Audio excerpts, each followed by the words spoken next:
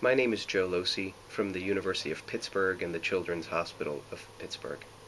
I've been asked to discuss three articles that address the outcomes in cleft lip and palate in adopted children. The first article was published in June of 2014 by Dr. Mulliken from Boston and looked at the outcomes of 55 internationally adopted children with unrepaired cleft palate.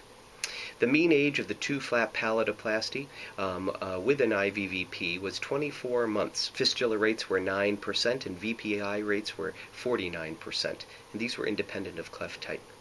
The rates were significantly higher. Fistula and VPI rates were higher than in a controlled non adoptive uh, population. And the authors concluded that VPI was associated with an increased age at palatoplasty, and that fistulas may be because of an infection um, uh, housed in the intraoral cavity, and that children should be screened for intraoral infections.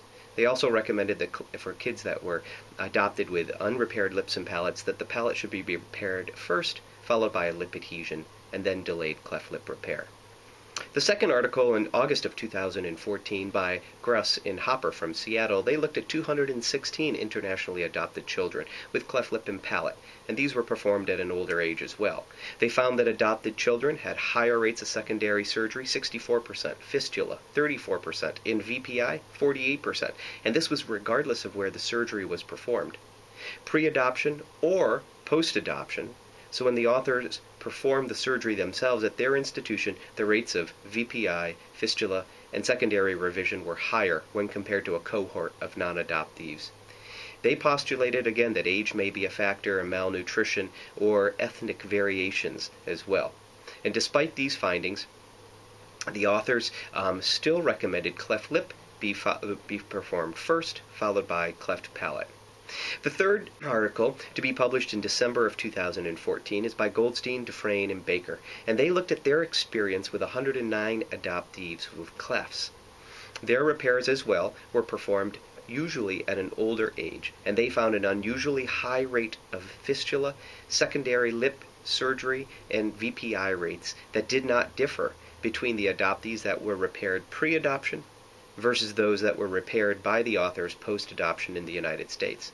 And the authors tried to compare a control group of their own non adopted uh, children repaired by the authors, but because of small cohort groups, uh, there was no statistical significance obtained. The authors postulate again that age may be a factor, or maybe because they're older with increased motor skills.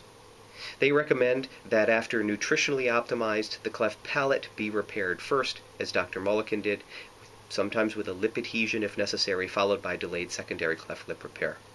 And they counsel parents that it's important to let them know of increased complication rates. Their conclusions were worst outcomes were likely due to interventions being performed at a less than ideal time, suggesting that surgical training and resources are less important than timing of the repair. So, my take home message from these three uh, uh, reports are that all the centers found higher rates of secondary surgery being needed, fistula rates, and VPI in adopted children.